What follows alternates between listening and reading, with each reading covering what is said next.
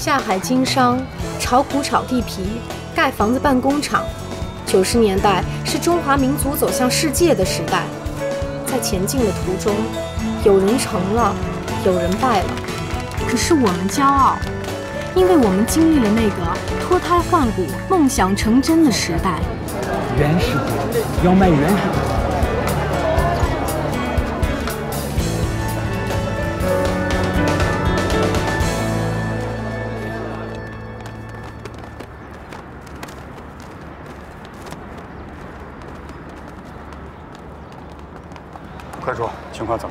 证券公司的小李让我告诉你，后天早上八点卖原始股，还是老规矩，凭身份证购买股票认购证。八点。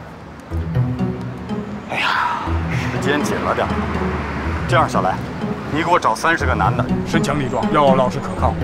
明天十二点之前在这个地方集合，带着自己的身份证。我现在出去一趟，小来，你记住，买了原始股，不管挣多少，都有你百分之十。你想啥？去，听明白了？好。我呢，是兰顺本地人，虽然年纪大了一点，但是我自己有房子，有厂房，啊，我不缺钱。赵老板说了，你要是跟我，我就给你买城市户口，啊，现在的户口才六万块钱。真的？啊，现在我们就去看看我的房子，好不好？啊，嗯，走，啊。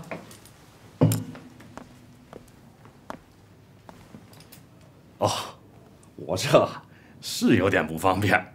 要是啊，我的腿脚好，愿意嫁给我的人多着呢。走吧。闭塞。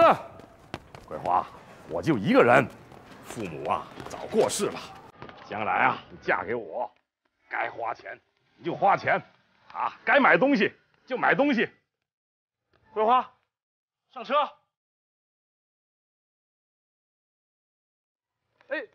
哎，怎么了？桂花，桂花，上哪去啊？好了，桂花，别哭了啊，没事儿，不行咱再接着找嘛。那桂花长得那么漂亮，好了好了，不哭啊。嗯，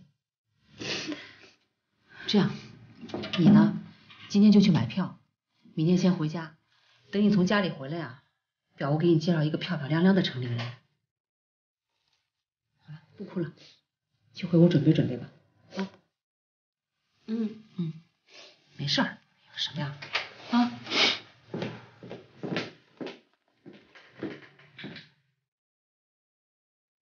赵明，我问你啊，哎，你知道不知道老王是个瘸子？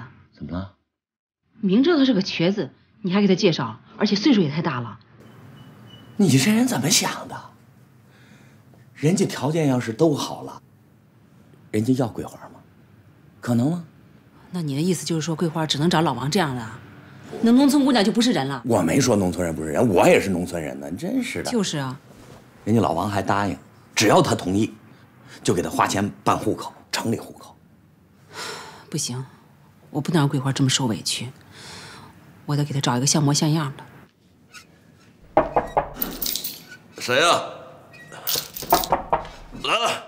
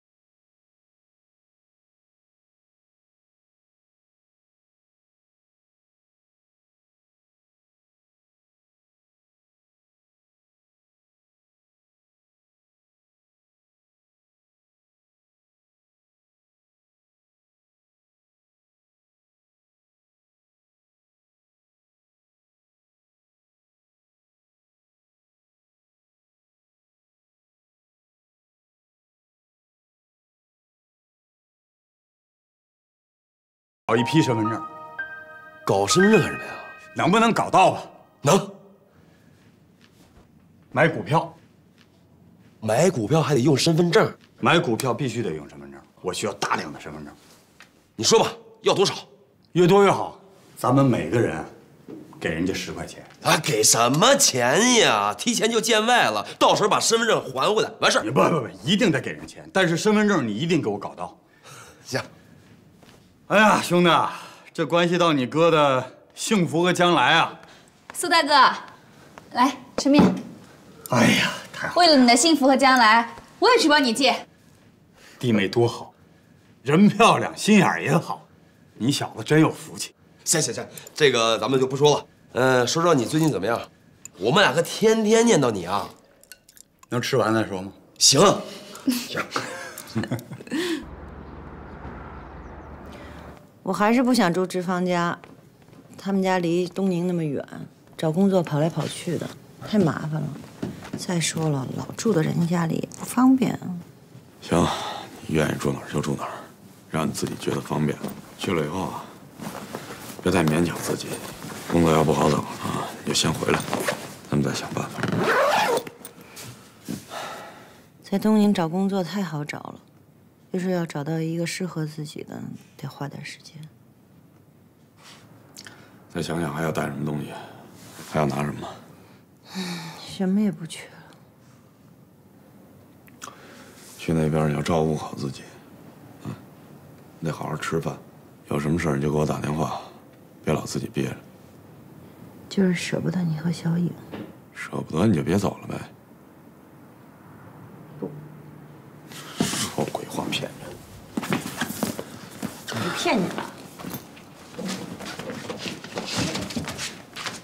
进来。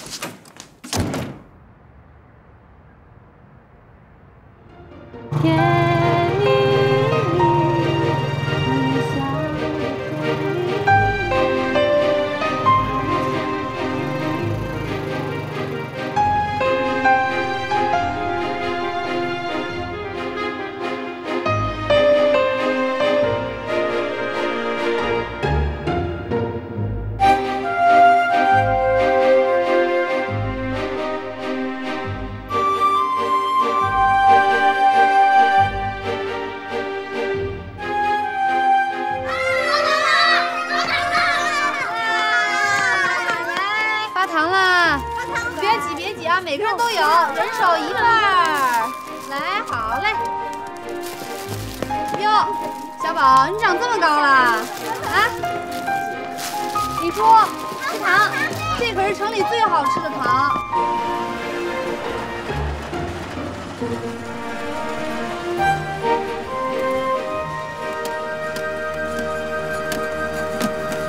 固定价一百七十五个，啊，好，不错，这这工厂是有模有样的。哎，我住的是省厂瓦灶，跟你一比，我这叫花子一个。你说什么呢，哥？再好没有用啊，没钱。像你都有八万块钱了。哎呀，那都不叫钱。炒股放在股票里的钱，只要你不放在手里，都不叫钱。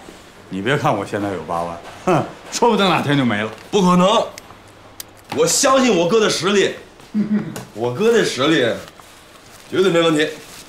李厂长，哎，身份证收齐了，哦我们厂到七十七个，外外厂的六十个，不是七个八个吗？怎么还才弄个七十七个了？老黑师傅没交，他说不想挣这十块钱，我找他去。哎哎哎，够了，一百三十七个足够了，缺一个。我现在就给你钱。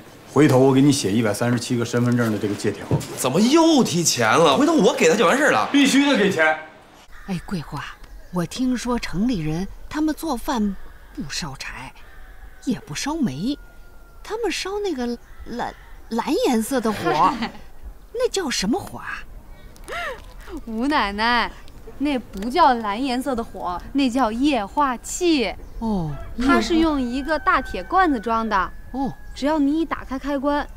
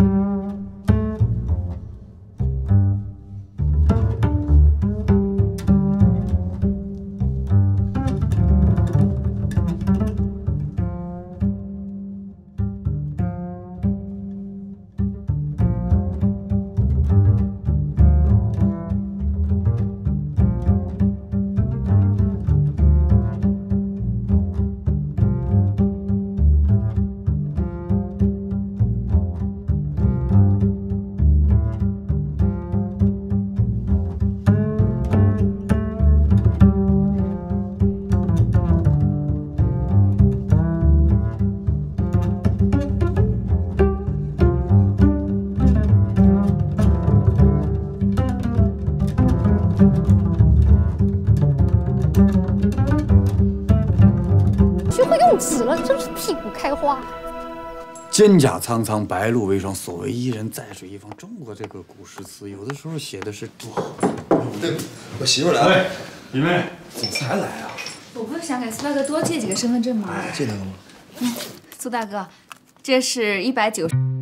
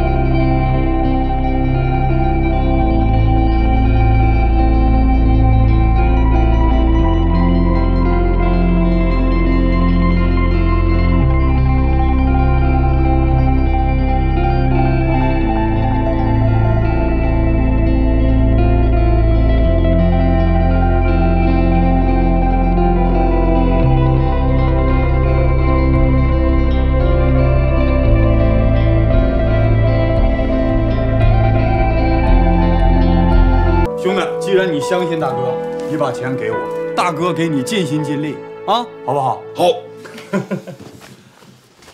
四大哥，还有一件事，你上次从北京到长兴，把这个落在我们家了。我们俩搬家呢，我就一起都带到广东来了。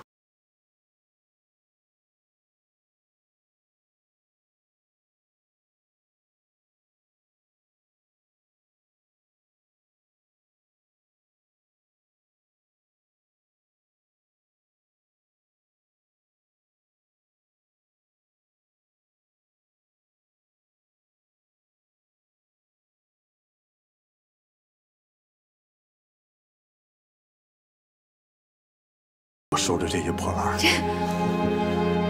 这样吧，还放在你这儿，我这一天东奔西跑的，说不定就给搞丢了。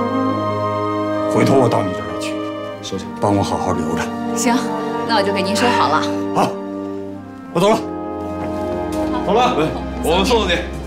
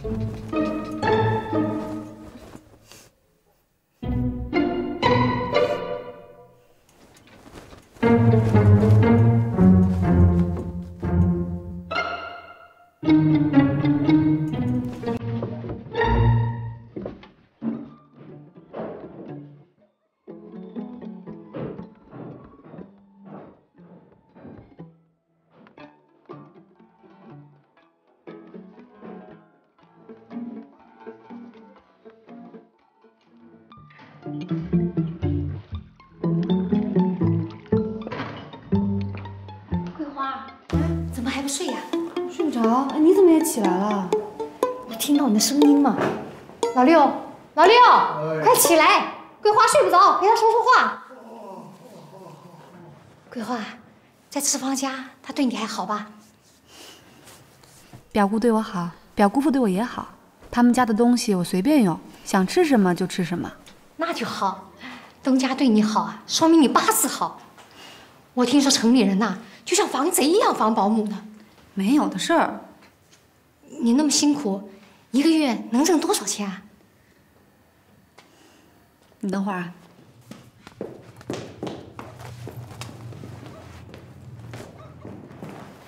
我这次回来把赚的钱都带回来了，一共六千。你你咋来这么多钱？你没干坏事吧？进下。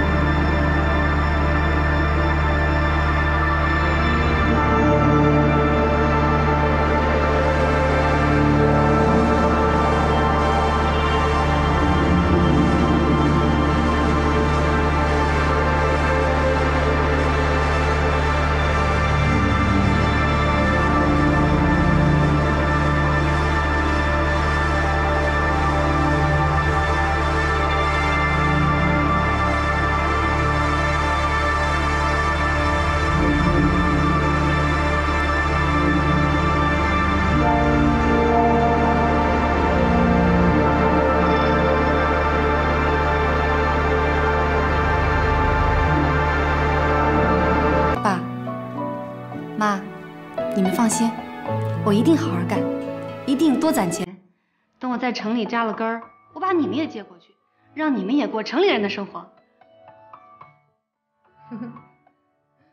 你们快去休息吧，这么晚了。好，那你也早点休息。嗯，对，你早点休息啊。好，把钱搁好啊。好的，好的，你早点休息啊。哎。大江东去，浪淘尽，千古风流人物。雄姿英发，羽扇纶巾。吃饭了。灰飞烟灭。故国神游，多情应笑我早生华发。人生如梦，一尊还酹江月。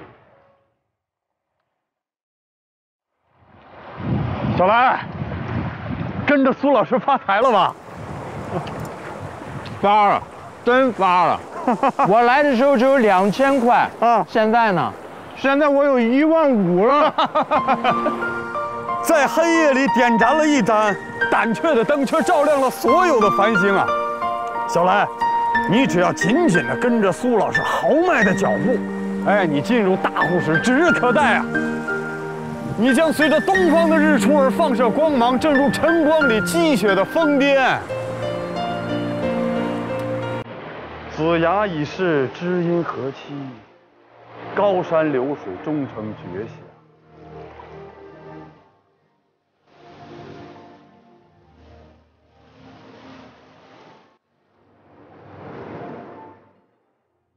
都站好了，苏老师。嗯，我请的全是年轻力壮的，你看行吗？行。今天来的每个人三份包子。宋老师啊，我都跟他们说过了，每人每天三十，不管饭的。管，吃饱了有劲儿，对不对？对。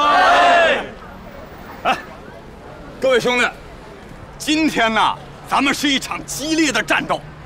我不管你们用什么方法啊，每一个人必须至少要买三次认购证。第一次我给三十，第二次我给五十，第三次我就给你七十。好，我买了四次了。第四次我再给你加二十。以后多买一次，多加二十。好，你们千万不要怕，不要怕，只管往里挤，有多大劲儿使多大劲儿。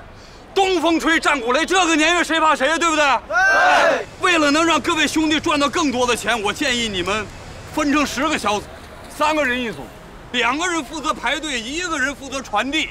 一会儿啊，看不见我就在那儿，就到那儿把东西交给我，我再给你们钱，给你们新的身份证，再去买。听清楚没有？听清楚。吃包子。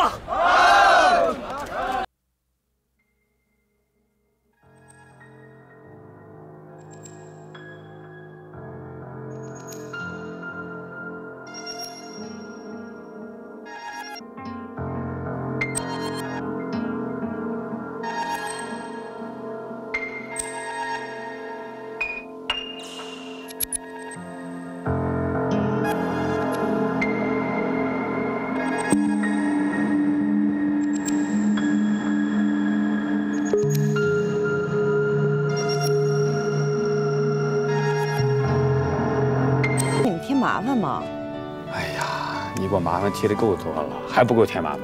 你走。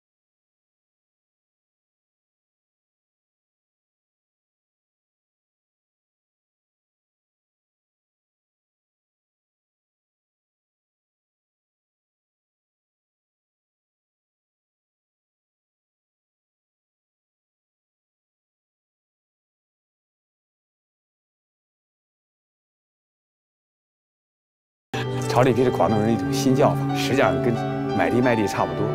这么说吧，炒股票你知道，把股票买进来，再把股票卖出去，所以这炒里皮也等于说是买地卖地嘛，炒里皮。那不是跟我们以前做的一样吗？这是有新的名称嘛，把它总结了一下。走吧。行，等我拿包。好。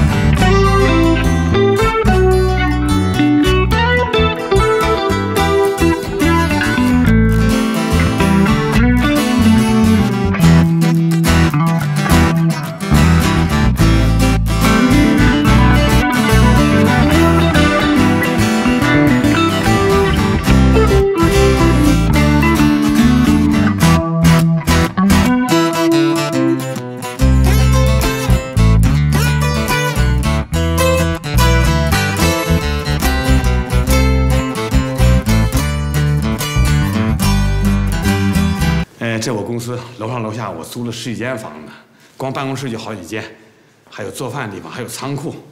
呃，那边吵什么呢？我看看。看见我给您的，您不记得？没有啊。那我哪知道您放哪儿去了？我亲手给您的，您你给我，我找不着。我给您。吵什么？吵什么？不是，胖总，我那天亲自给他一张票，他愣说我没给，您非说丢了。没看来客人了。周姐，你好。嗯，那那二十二，我跟你说这样啊，你赶紧出去买菜、买肉、买鱼，加鱼、加肉、加鱼肉全买，就点好吃的。还有把咱们的那个咱们员工都都都全部都喊回来，就他们那跑地皮那人，咱们中午一起吃饭啊！好，快去吧。好，我这就去。周爷，你看我这这边员工都是我从那个咱们长兴老家，都是村里来的，都是亲戚过来的，他们对我比较忠诚，哎，也会过日子，我也放心，哎，非常好。什么找？根本就没有，我每天都记账，你看啊，有我记得清清楚楚，四十五块钱一张票。问题现在没有啊，没有，那不是我的事儿啊，我给您了，您丢的那跟我没关系。好了，能不能不吵了？不就一张票吗？行，我承认你弄丢了。好，二中建没责任，给他实报实销就行了，行了吧？又不花你们的钱，你们你别别别吵，您公司没有会计啊？没有。哟，没会计怎么做账啊？你不做账，到时候公司跟工商和税务打交道怎么打呢？哦，这个好办，这个我有临时会计，一个月来一次，我给他点钱，对付工商税务他有的是办法。那，那你花了多少钱，还剩多少钱？你是赚了还是赔了？你又怎么知道呢？当然知道了，我给二叔一个本本儿，平时我我花花完钱把钱对全给他，他记上，他花完了再给我看看本本儿，我认可花完了再给他钱，就这样花记记花嘛。那这是生活中用的钱。如果你要是做公司，公司没有会计，这可不行。哎呀，哎，对你不是搞财会的吗？以后你就哦不不，我弄错了，你是我的副总。哦，我还忘宣布了，哎，周云，今后就是我们的副总，第二把手，除了我就他，他说了算。哎周总好。啊，周总。好的，啥也不说了，那个你去帮那个带周总回到找招待所把东西搬过来。哎，那个我这儿有的是房子，你看我刚才说了，你看哪间你喜欢，这间你喜欢也行，现成的床我让收拾收拾，你就给住进来，好吧？这吃多方便，哈哈哈。去吧，好，走，我去开车。行行行行行，快去去去吧，赶紧的，赶紧的，我让他们做吃了，等着你们啊。嗯。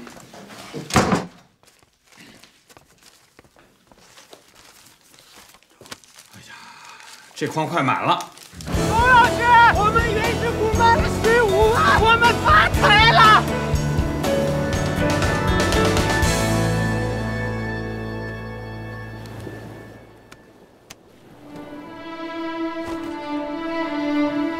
小兰，啊，你知道海那边是哪儿吗？不知道，是美国，我女儿就在那边。苏老师，你宝贝女儿就在美国呀？我来这儿炒股，就是想赚到一百万，然后就把我女儿接回来，静静的等待，让我们的心不要扬起尘土，让世界自己寻路向我们走来。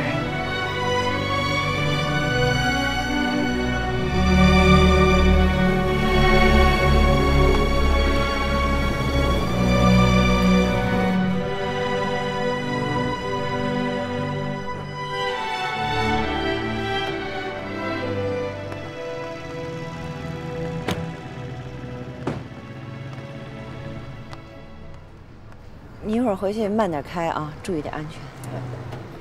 不上去拿东西吗？我刚才想了一路，我还是决定不去你们公司了。不是，周总，房子和办公室都给您准备好了，怎么能不去呢？是是是，我知道你们是想要帮助我，可是我还是想找一家相对正规的公司。我想我要是跟胖大哥当面说，他一定会不高兴的。你回去帮我跟他说声对不起，也说他，也说我谢谢他。谢谢你送我回来啊，再见。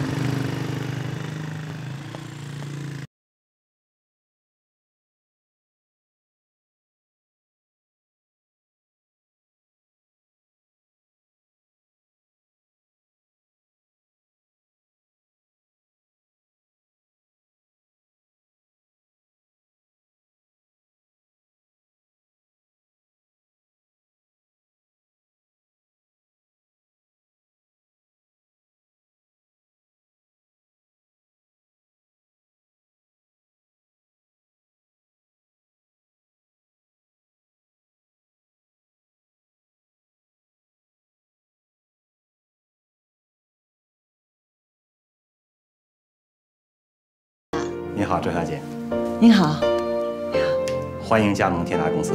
谢谢。小刘啊，以后要多多关照周小姐。周小姐可是个难得的人才啊，在生活上你要多多关照她，工作上要多多向她请教。没有没有，发现发现子弹，我赶紧找进来，进来说。走到你的别拿那个，来，走走走，哎呀，别拿那个，拿那个。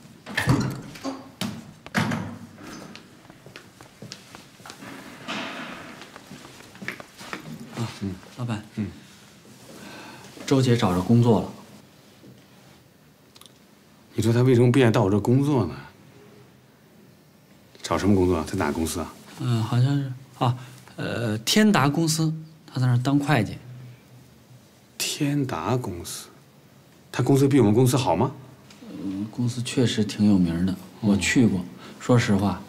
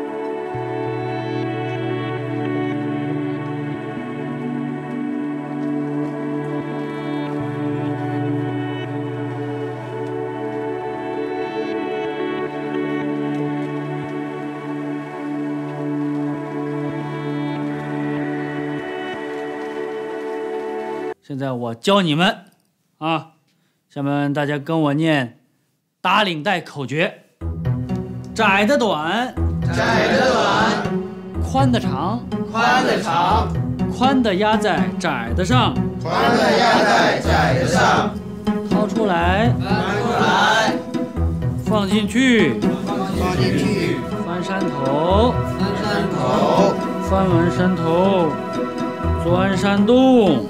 山豆。好了，你好啦，你好啦，哎，你这个还可以嘛？再来，我再吃了。张大姐，哎，这有一个七十万的账，不是银行的贷款，我们公司每年要付百分之八的利息，这是为什么？这笔钱是赵总带来的集资款。集资款？什么叫集资款？赵总以前在湖北工作，后来到了广东，在单位搞了一次集资，就是说，如果看中了赵总的生意，认为赚钱就可以投资啊。哦，我明白了，那就是说这笔钱是赵总原单位同事的钱。对，赵总单位的同事看好了赵总的生意，所以就凑了七十万块。赵总把这七十万作为天达公司的启动资金，因为钱是凑的，所以利息比银行高。这些钱呢，在我们公司可以用五年，五年以后必须要还本。那利息呢？一年一付？对，一年一付，五年还本。周云，赵总让您过去一趟。啊，好的，我马上就来。嗯。张大姐，那前两年的账本，你下午给我拿过来好吗？好的，下午给你拿过来。嗯。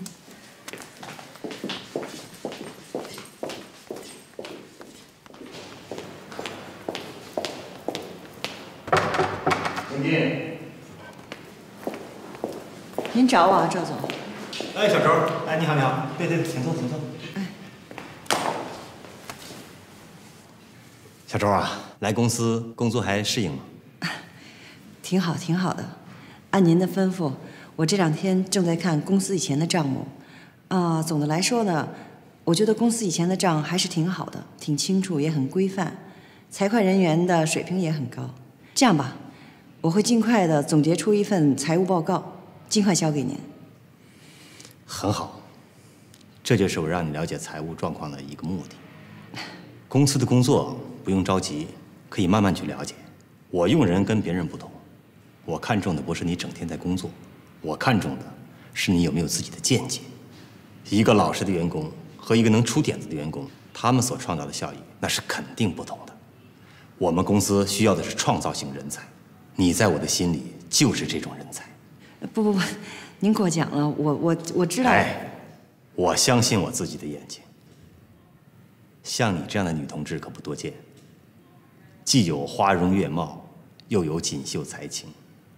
我相信，那你在天达一定能成就一番大事业。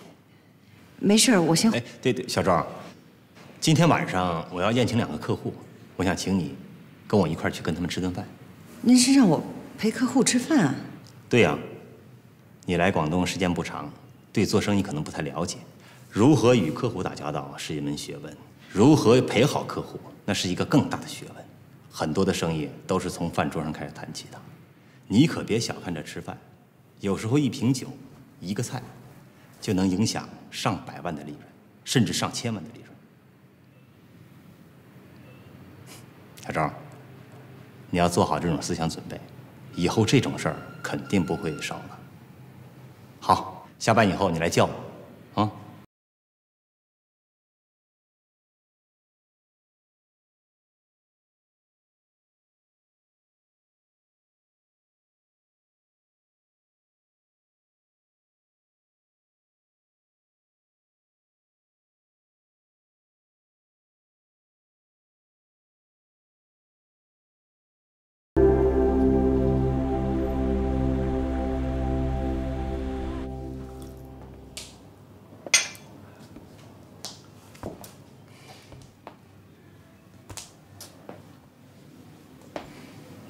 您的客人怎么还没到啊？是啊。这样，小周，咱们等到七点，如果他们再不来的话，我再打电话催催他们。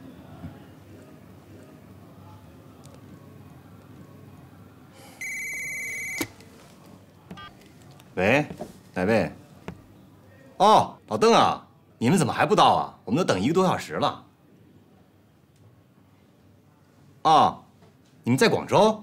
啊，不用不用不用，什么负荆请罪啊？改天咱们再约啊！好好，再见再见。哎，周啊，客人来不了了，今天他们在广州。那那菜都点完了，要不然给他们退了吧？哎哎，不用，咱们不也得吃饭吗？来来，坐坐，咱们吃，啊。靓女，你好，老板。靓女上菜，好。坐吧。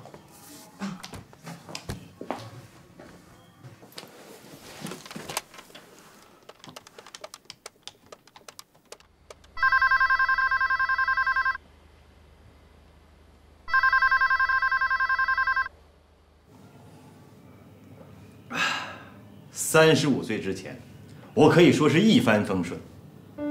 二十二岁大学毕业，三十岁我就当上副处长，妻子温柔，女儿可爱。可谁想到，我妻子她就瘫痪了。八年呐，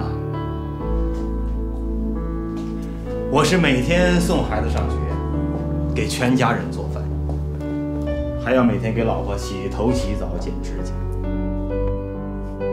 八八年，我们外贸局在广东办窗口，能来窗口上班的人，每人每天补贴三块钱，每人三块钱。我就为了这三块钱，辞去了副市长的职位，来到了这边，就办起了天达公司。唉，一言难尽呐。那您妻子怎么样了？妻子依然瘫痪，唯独不同的是，我现在有钱了，我有很多钱，几百万，我请一个人专门来伺候她。每次我回家，我妻子都提出跟我离婚。我是那种人吗？啊，毕竟在一起生活了十几年了嘛。所有的苦水只能我一个人咽了。您别喝了。一醉解千愁。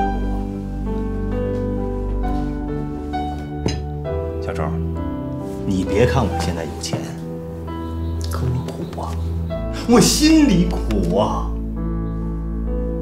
可我苦啊，我心里苦啊。来，喝喝喝。您少喝一点吧。干吧，一醉解千愁。